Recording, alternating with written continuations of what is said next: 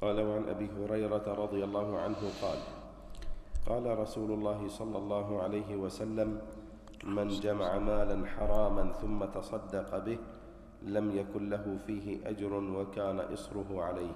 نعم من جمع مالا حراما من أي طريق كان؟ من ربا من رشوة من غش من تدليس آه، من سرقة من غصب من انتهاب؟ من أي نوع كان هذا المال؟ حتى لو كان من تقصير في عمل أو وظيفة. هذا والعياذ بالله مال محرم.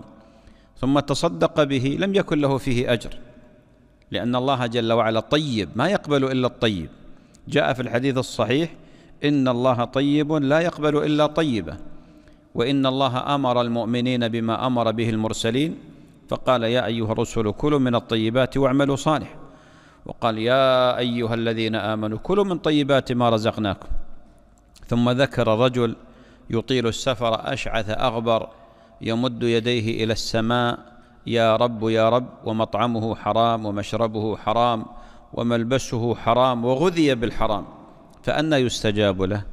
ولذلك المتصدق بهذا المال المحرم ليس له الأجر وعليه الوزر والعقاب. وقد جاء في حديث لا يحضرني الآن درجة إسناده أن هذا المال المحرم الذي تصدق به يكون وقودا له في النار. نسأل الله السلام والعافية. فالذي يجمع المال الحرام ثم يتصدق به لا أجر له. لا أجر له. وإنما الواجب عليه أن يتخلص منه بغير نية الصدق.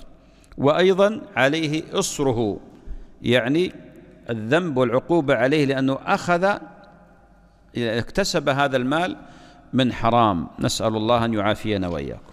نعم.